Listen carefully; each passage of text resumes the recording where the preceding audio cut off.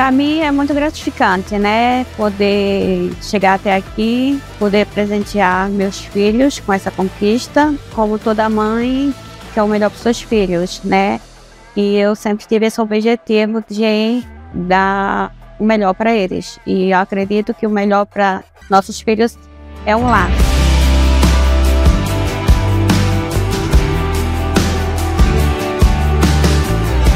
Esse dia a gente estava bem ansioso, né? Tava esperando bastante ver esse dia. Tá sendo muito importante que a gente está aqui com a nossa família para apresentar nossa nova casa. É uma coisa que a gente tá esperando há muito tempo, era um sonho, né? A gente estava com essa ansiedade há muito tempo e graças a Deus chegou, né?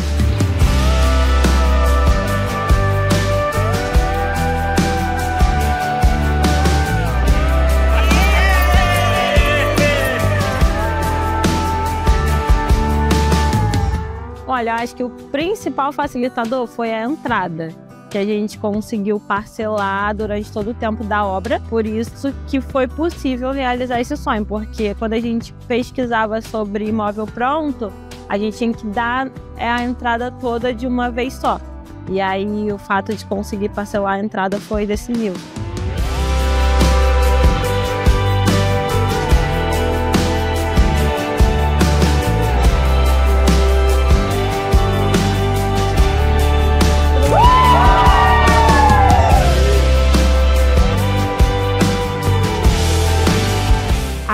Só vim só para fazer uma simulação, ver como é que ficava o valor de tudo e acabou que aconteceu. E dali foi. Aí estamos aqui hoje.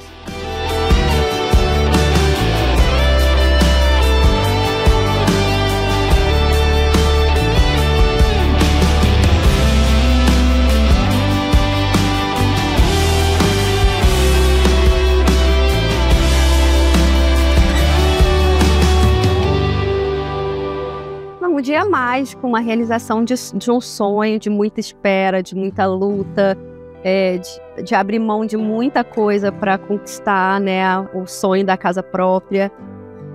Tá sendo assim mágico. Quando eu cheguei, eu falei assim: nossa, chegou a nossa vez. Então, é, ainda estamos aqui tentando realizar, né? Se é verdade mesmo. A gente está muito feliz.